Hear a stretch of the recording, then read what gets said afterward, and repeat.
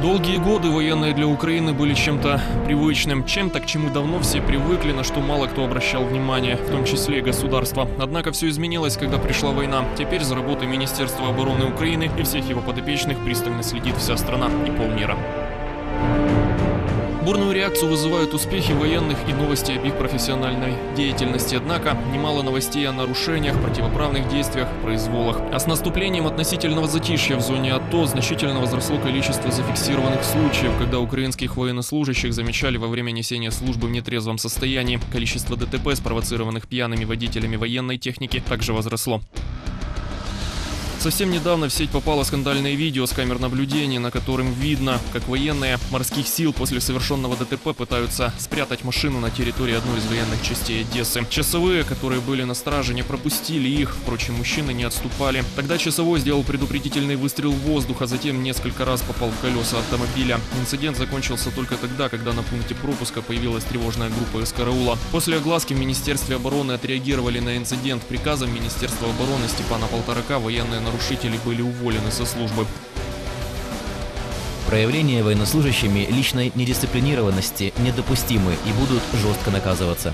Параллельно с этими подобными инцидентами в Комитете Верховной Рады по вопросам законодательного обеспечения правоохранительной деятельности его члены рассматривали проект закона, который предусматривает значительное усиление ответственности украинских военнослужащих за правонарушения, особенно вождение в состоянии алкогольного опьянения. кримінальну Предлагается ввести уголовное наказание в виде штрафа в размере от 250 до 300 необлагаемых минимумов граждан, за которое в настоящее время установлена лишь административная ответственность на общих основаниях.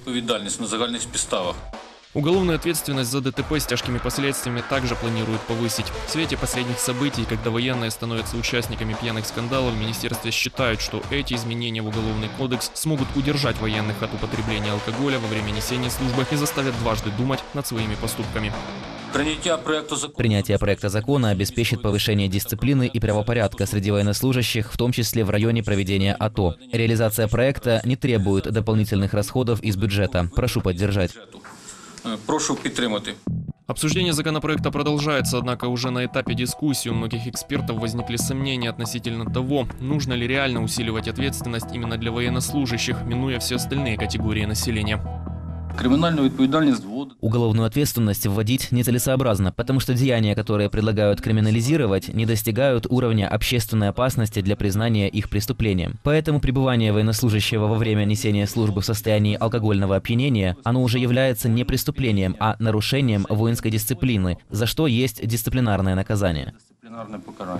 Отдельные члены комитета выразили обеспокоенность, что введение именно криминальной ответственности для военных, которые сели за руль в нетрезвом состоянии, напрямую нарушает их права по сравнению с другими украинцами. Я не думаю, что ответственность э, каждого гражданина Украины, будь то техническое транспортное средство в обычном мирном населенном пункте, ну, банальный ДТП, если говорить, виновен, не виновен, и оно должно отличаться от транспортного средства водителя э, даже э, в вооруженных силах. Там правила дорожного движения, там правила дорожного, там нарушение, там нарушение. Там есть штра- штраф или наказание за э, злоупотребление алкоголем за рулем и там. И, и ничем это не отличается. Впрочем, обсуждения в комитете еще продолжаются. Сами же украинские бойцы, особенно те, которые побывали в зоне АТО, услышав о таких намерениях Министерства обороны, предлагают сначала усилить ответственность для полицейских, прокуроров и работников СБУ. в першу чергу прокуратура, е, МВС. В первую очередь прокуратура, МВД, обязательно налоговая. Мы видим очень много примеров, когда прокуроры, сотрудники МВД на веселе совершают преступления и фактически остаются безнаказанными. І залишаються без, безкарними фактично.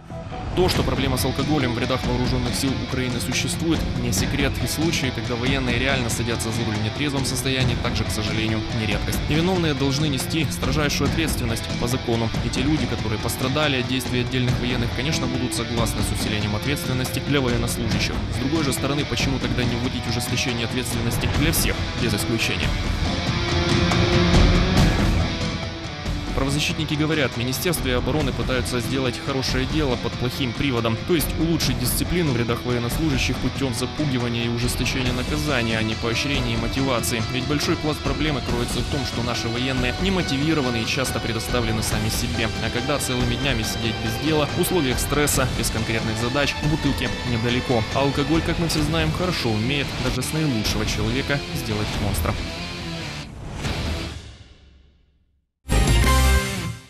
А якщо ставиться мета протидіяти.